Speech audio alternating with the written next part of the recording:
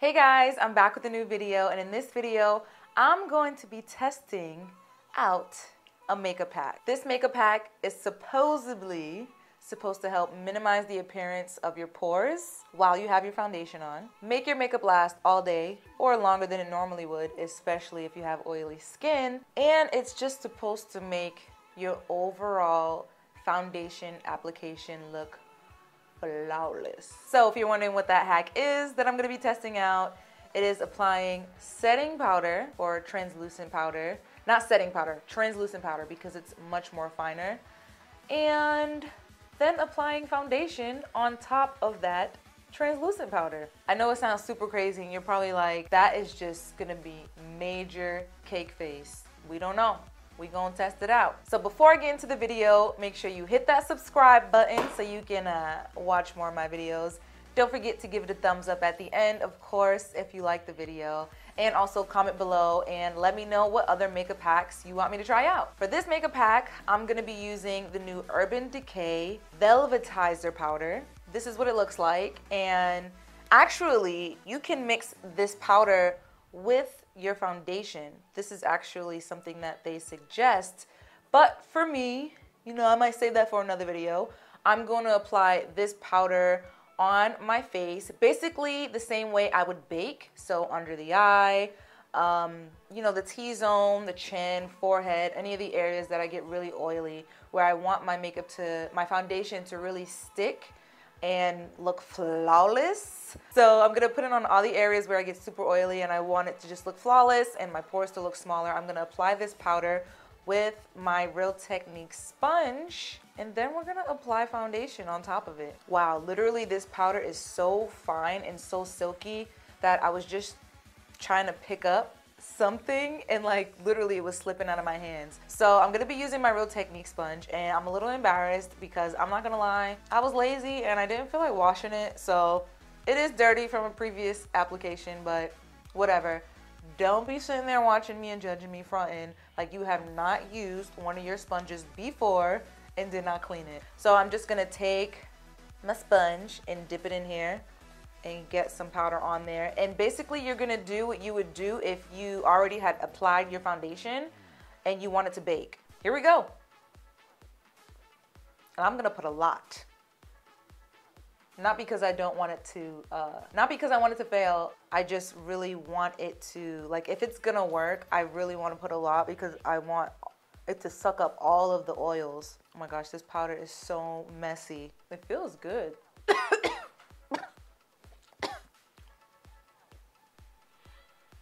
All right. It's so fine. Try not to breathe while I do this. So I'm just putting in all the areas that I normally would if I um, was baking right now. All right, now I'm gonna move on to my forehead. Hopefully I don't jack up my brows because I did them because this powder is so loose and fine. It's fallen everywhere. If I were to give you an example of the texture and the, the feel and how fine this powder is, it kind of reminds me of baby powder, but probably even more finer, which I don't know how that's possible. So we have the powder on all the areas that I would normally put it on if I were baking and like finishing up the foundation process. I look crazy. I'm not gonna lie, my skin feels good though. And it, oh, wow. Wow. So, what you're supposed to do is just let let it all soak up, which mine basically did, but let the oil soak up. And it's just supposed to soak up all of the natural um, oils that you have, well, the extra oils that you have, so that when you apply your foundation, it's much more fresh, it lasts longer because you know you have the oils from your moisturizer, from you touching your face, just extra sebum production, and this is supposed to basically give you like a clean slate so that you don't have to deal with all that mess, you know, in an hour or two. So this is definitely something um, that you would do, I'm assuming, if you have really oily skin. If you have dry skin right now and you're watching this video, you're probably cringing. Obviously, I don't know how it's gonna turn out, but seeing how it is and how the application is and the fact that you have to use powder before your foundation, if you have dry skin, I would probably stay away from this. But Obviously, I don't know for sure until I actually get to the end of the video. So let's get on to the next step and I'm gonna apply my foundation. Are you ready? So I'm gonna be using the NYX Total Control um, Drop Foundation. I have the color Golden and Caramel and I'm gonna mix them together because I'm kind of in between. All right, so I have it mixed on the back of my hand right now. I'm going to use the other side of my Real Technique sponge um, and apply my foundation. So here we go. I want to start with my chin because I just want to see what's going to happen. Okay. Hmm. So far, it's looking good. Wow, it does look flawless. And I feel like it's giving more coverage because the foundation isn't moving like it normally would on your skin.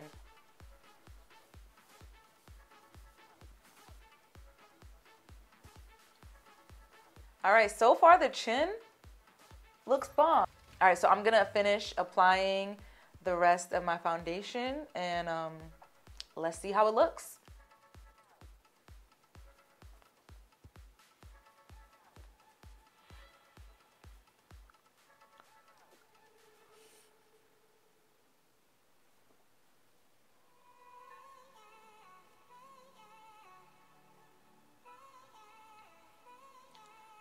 All right, we're almost there. Let me just add a little more coverage to my forehead. And then what I'm gonna do is um, zoom up for you guys, and then I'm gonna finish the rest of my makeup. All right, so I'm up close. Wait, let me get in focus. Up close and personal. This is what it looks like. Yeah, this is what it looks like so far. Looks pretty smooth. Okay, so now I'm going to apply some concealer and just highlight a bit not really um, too much because you guys know how I roll. I don't really do that. So I'm just going to take my NARS Soft Matte Complete Concealer in the color Medium 2 Ginger. And this is the test. Because since I put powder, I don't know if this is going to like still be able to blend with Wow, it is. Okay, it's blended with my concealer. I thought it was gonna look crazy. It's actually making the pig. You know what I'm noticing? You know what I'm noticing is that it's it makes the pigment of whatever you're using come through even more. Okay, I guess we're going for a good highlight. I'm gonna finish this, come back, set it, complete the makeup look, and then show you guys what it looks like. Okay guys, so I completed my makeup look. Right now I'm about to take some setting spray and just set it and forget it.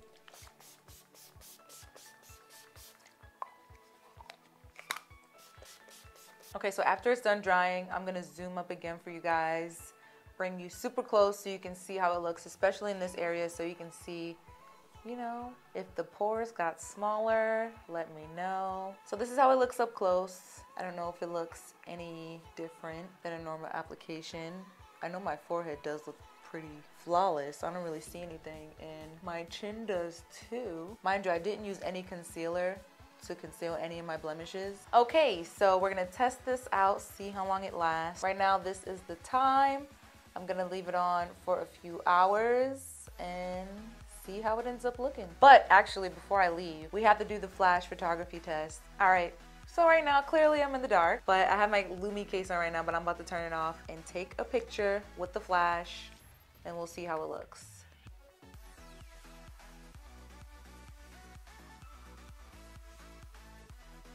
All right, so I'm back and um, got some bad news.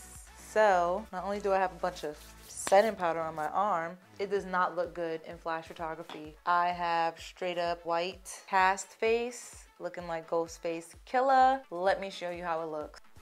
So this is how it looks. Look how light my face is compared to the rest of my body. Like the makeup looks cute, but that just ruined it completely. If the white cast wasn't there, then this would be perfect. So we already know from this test that I would not recommend doing this makeup pack and going out at night because you're gonna look crazy. My skin does look flawless and even with me zooming up, I don't see a lot of my pores. There's not as much texture. It's just the white cast just killed it. All right, so it already failed that test. We're gonna see how long it lasts. I'm gonna leave, come back, and let's see if I look like a grease ball or not in about two to three hours. Okay guys, so I am back and I've had this face on for about six hours. So let's see how it looks. That has that's long enough for me. But so far, so good. Like, I mean, it's definitely not a miracle. It truthfully to me kind of acted like a primer, like a mattifying primer. So I feel this is definitely a product you can use or a, a tip or a, a, a, hack you can use if you don't like primers, but you do have super oily skin and you want your foundation just to apply really well, really matte, because it definitely does. I don't even think it matters what kind of foundation it is. It's definitely gonna look matte in the areas that you put it in. And if you want it to just last a bit longer throughout the day, then this is definitely a hack. I give this hack a go. I thought it was gonna be a no-no, but it's definitely a go-go. So if you guys wanna try this out, this is a powder that you can use. I do recommend that you use a translucent powder, something that's very fine. You don't want to use something like um, like the Cover FX setting powder with color. I think that will be super thick. And you also don't, you might be able to get away with the Laura Mercier, but I don't think so because it's a bit thicker and this powder is much much more finer but what you can use is like the it cosmetics um, bye bye pores i think it's called or you could also use um, the e.l.f. Cosmetics translucent powder that kind of has a similar finish and is definitely more affordable. All right, so this is what it looks like up close. You can see, I mean, it, it definitely obviously doesn't look as fresh as it used to. What makeup really does after like six, seven hours. But it does look pretty good, especially my forehead. I just want to touch up um, just to see how it's gonna look, I'm going to use the same powder, the Urban Decay powder that we used. Wow, it looks brand spanking new now. This powder, this powder, I don't know. The sorcery. What sorcery is this? Wow, it's so fine. It literally brought it back to life. What the?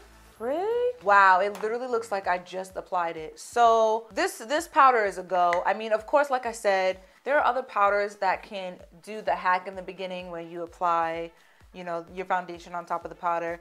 But this, this Urban Decay, um, the Velvetizer, this is bomb. Like, look how it still looks pretty flawless. Like, I, I'm, I'm really, I'm really surprised. So this hack is, it's kind of the bomb.com minus, minus the flash photography. I really hope you guys enjoy this video. I definitely enjoyed testing out this makeup hack for you guys. If you have any other makeup hacks that you would like me to try, please let me know. Like, please, because I love trying out makeup hacks. And if you enjoyed this video, please don't forget to give it a thumbs up.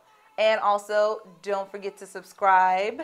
All that good stuff. Comment, show me some love. I'll show you some back. And um, I'll see y'all in my next video. Deuces.